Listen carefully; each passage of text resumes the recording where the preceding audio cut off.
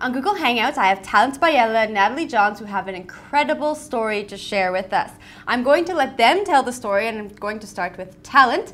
Thalente, why don't you tell me about where you grew up?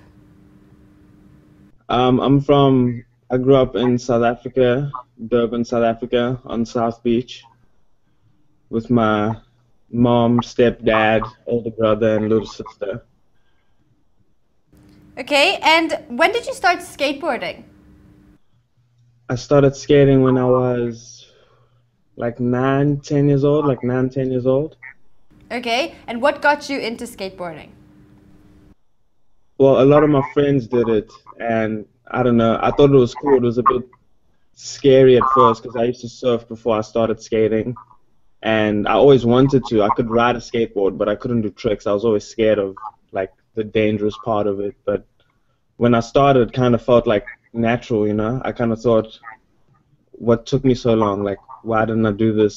I don't know. Why didn't I start this at a younger age? But I guess it was the right time, perfect timing for me to start it.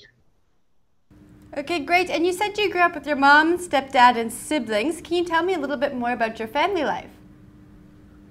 Um, I kind of, I would say I lived a normal life for like a kid of my age at the time. Like, I got the chance to go to school, but I wasn't like living the life, so to speak, because I don't know, my parents sold drugs for a living, my stepdad did fraud, but like it was, they did what they had to do to like survive and provide for us, which not many people can do. You know, not many people can like stick by their children when they're going through like a rough time, but they did all they could at the time. Awesome. And Natalie, can you tell me what Thalente was like when you met him? He was not just not he was like totally different to who he is now, but also exactly the same. Like his spirit and his personality and his kindness and his heart was exactly the same, but uh, he was like, you know, just figuring his, his stuff out, and he had been.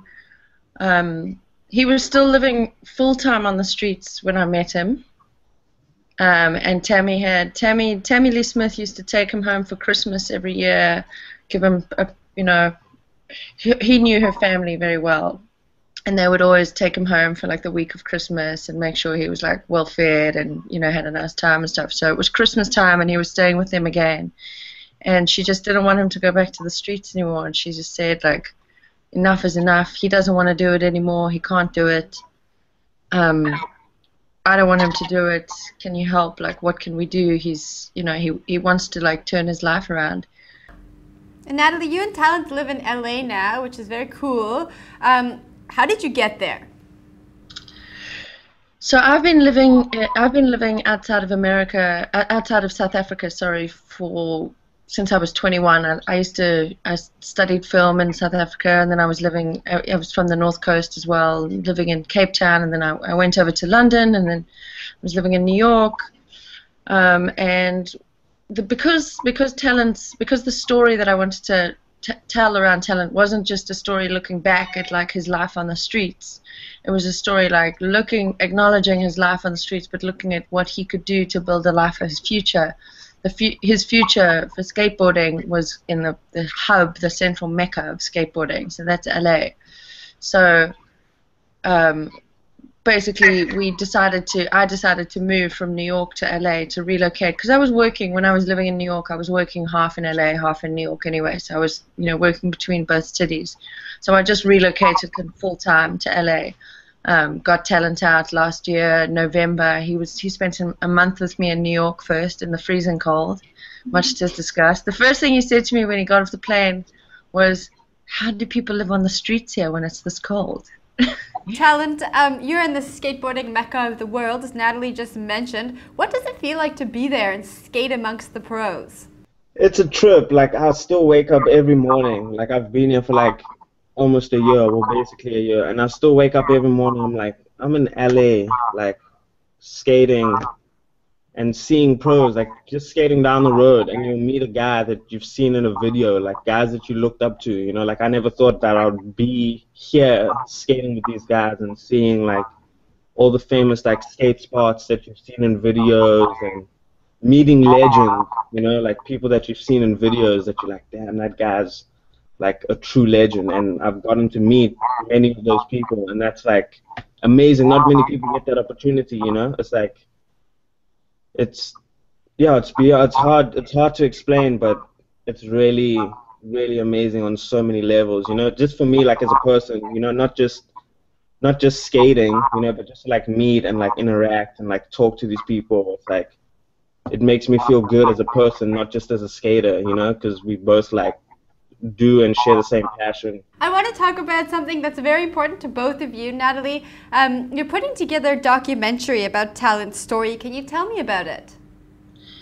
Yeah. Um, so as I said to you, you know, when when everybody reached out and they said, "Can you help him?" um, can you just make a help him make a video or, or something like that to raise his profile? I, I, definitely wanted to do that, but I also, and everybody, you know, lots of people were talking about the story of this this kid who'd survived on the street since he was 11, and he was this character, this charismatic figure. But I also wanted to see if we could um, give him the tools to like, you know, build a future. I, I wanted it to be forward-looking instead of retrospective, and and to be more of a you know, an, a documentary that followed his life and his journey, like off the streets, and how he, you know, how he was able to turn it around, if he was able to turn it around at all, you know. Um, so we started by, um, I started by sort of trying to find a mentor and skate. It all came from Thalente, actually. From I did this interview with him on the beach, and so the ideas all came from just listening to him and talking to him and he was like, "There's got to be a way to get good at skating, you know. And there's, there's got to be a way to get good. If you're around good skaters, you get good." So I thought, well, he didn't have a father figure in his life, you know, and the only sort of father type figure that he would like kind of look up to that could help encourage him to, stay on the right path would be a pro skater. So we started by you know, kind of looking around and seeing who was kind of a, a really respectful skater, somebody who basically, because the skate community isn't is is also a little notorious for its drugs and drinking, and I didn't want him to like work hard to like get away from what was his street life to only just to dive into it in another form in skateboarding, part of the skateboarding culture. So we um so I found this guy called Kenny Anderson, who's an amazing, amazing uh, pro skater, um, and father of three, just like a super, like super nice human, Buddhist, wonderful, like great, big heart, very, very um, giving, very kind. Um, and he connected with Tell Story and, and, and, said he was totally on board. And, and Colin Kennedy as well, one of the other producers on this, is a skate documentary and also a father of four.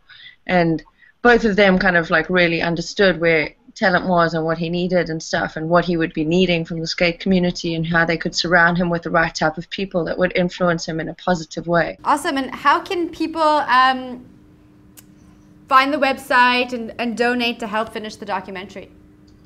So the documentary is called I Am Thalente, and Thalente is spelled T H A L E N T E. Um, and the website is Seed and Spark. It's a crowdfunding website that's just specifically for um, uh, just specifically for film. So Seed and Spark, and if you just go to seedandspark.com, you'll see um, that it's on the home page, the the trailer for the film that you can watch.